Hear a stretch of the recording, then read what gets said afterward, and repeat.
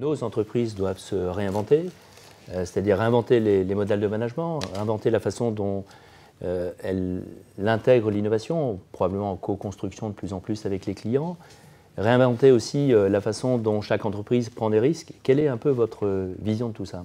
Il y a une nature technologique qui est très très forte dans ces entreprises. Donc les API, les lacs de données, la distribution de la data, voilà. Mais il y a aussi l'idée de dire il faut lutter contre les silos et rentrer dans des modes qui sont transversaux. La raison pour laquelle on fait ça, c'est que on veut casser tout ce qui permet d'avoir des ruptures de cycle dans la production. Et donc, ces entreprises, elles sont possibles parce qu'on a des fonctions support qui sont très simples, hein, qui sont au nombre de trois. Euh, euh, donc, les analytics, euh, l'instant messaging, les, les, outils de project sharing. Et ça, ça va faire que vous allez avoir une entreprise qui va être assez hiérarchique, avec de la distribution forte de savoir, qui vont être plus des petits groupes de projets, mais très synchronisés par euh, des outils.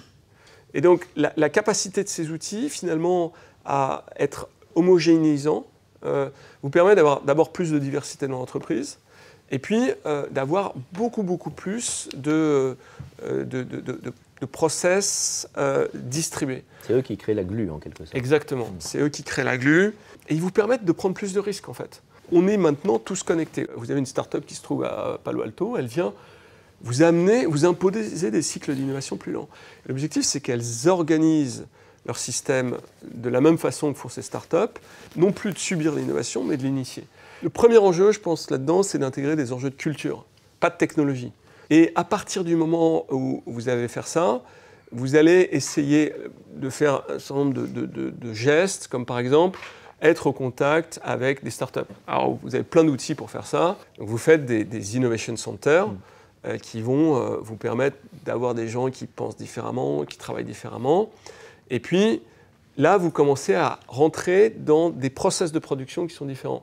Et il y a un moment, et ça, c'est, je pense, le, stade qui est un peu euh, le stade ultime, où vous commencez à rentrer des process d'open innovation, à, l'intérieur. Et une fois que vous avez ces process qui ont commencé à fonctionner, vous pouvez scaler. Il y a d'autres aspects qui sont importants.